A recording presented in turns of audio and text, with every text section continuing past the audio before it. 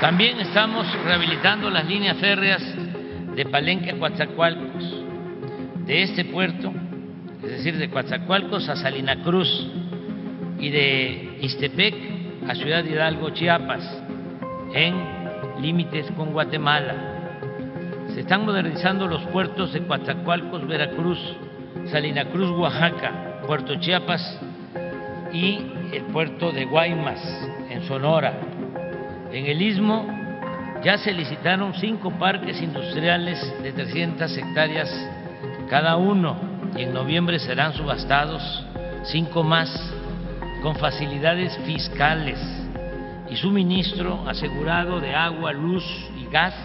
para la instalación de empresas y creación de empleos. Es un timbre de orgullo poder decir que regresarán los trenes de pasajeros